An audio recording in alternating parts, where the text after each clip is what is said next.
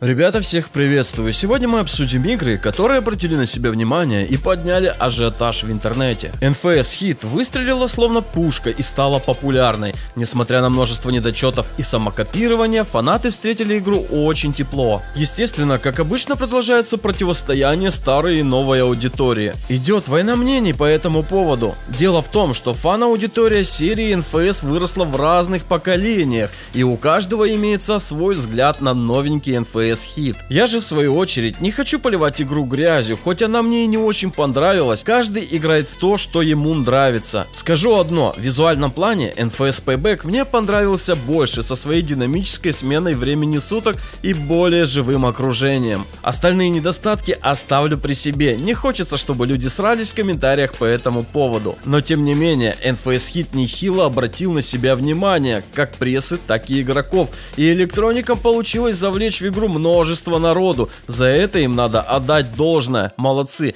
Пиар-компания прошла успешно. Перейдем к следующей новости. Компания Take-Two Interactive зарегистрировала три товарных знака, связанные с франшизой «Мафия». Самая неудачная часть «Мафии» по цифрой 3 продалась тиражом свыше 5 миллионов копий, и поэтому издатель, возможно, решил вновь заняться разработкой и выпустить четвертую часть. Помимо этого, просочился слух, что будет ремастер второй части. Но проблемка в том, что над обновлением игры будет работать студия Ангар 13. Это те самые ребята, которые делали третью третью часть и ждать от них чего-то качественного плохая затея. Как бы они не добавили больше багов и не запороли ремастер отличной второй мафии. Время покажет, посмотрим, что у них в итоге получится. Напишите в комментариях, вы бы что выбрали? Ремастер второй мафии или же новую четвертую часть? Red Dead Redemption 2. Сколько же шуму ты наделала? Безусловно, консольные версии игр получились отличными, а вот что касается ПК бояр,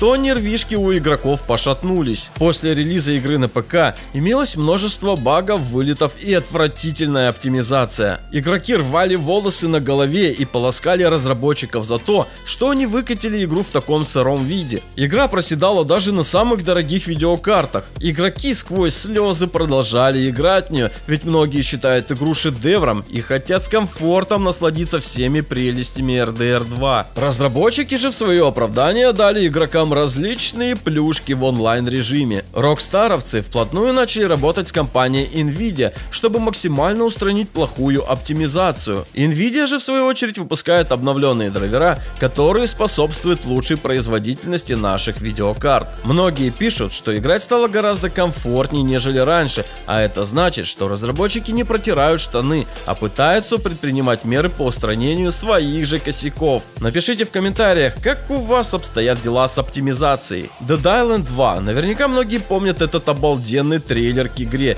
Игру анонсировали аж в 2014 году, но после проект ушел в заморозку. Игра два раза меняла студию разработчика, но в издательстве Deep Silver уверены, что если игра все-таки выйдет, то шумихи будет много. Производством игры занимается уже третья студия. Ее исполнительный директор рассказал, что Dead Island 2 это очень важный для них проект, и они стремятся к наилучшему качеству. Мы отдаем все свои силы и надеемся, что зомби-игра будет классной, рассказал директор сайту Game Industry, который брал у него интервью. У меня на этом все, друзья. Подписывайтесь на канал и ставьте пальцы вверх. Удачи вам и хорошего настроения. Будьте здоровы. Пока.